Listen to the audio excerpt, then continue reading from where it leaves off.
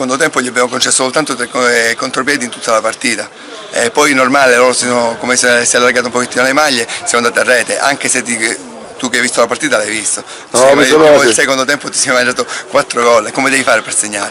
Pallone che passano davanti alla linea e non lo buttiamo dentro, a tu per tu col portiere la buttiamo fuori, la tiriamo addosso. Comunque ti ripeto, eh, io avevo visto bene la squadra contro il Montepaona, ha fatto una bella prestazione. Oggi la prestazione non posso dire niente, sotto porta siamo forse siamo un po' troppo nervosi perché ci mancava la vittoria e ci mangiamo forse troppi gol per, per, proprio per frenesia, però una bella squadra, una bella partita oggi. Una bella partita, forse potevano starci anche qualche gol in più perché comunque eh, sia noi che loro abbiamo creato tantissime azioni, abbiamo giocato tutte e due le squadre, hanno provato a giocare palla a terra, quindi eh, è normale che noi pecchiamo lì davanti perché non riusciamo a, a buttarla dentro. Eh, nell'azione che dicevi tu sul, sul gol praticamente due dei giocatori nostri hanno sbagliato un gol proprio davanti alla linea, il primo di testa e l'altro eh, col, col, sinistro da, da, un metro dalla porta e nella ripartenza hanno segnato loro. Poi il calcio è, è una legge del calcio, gol mangiato, gol subito, però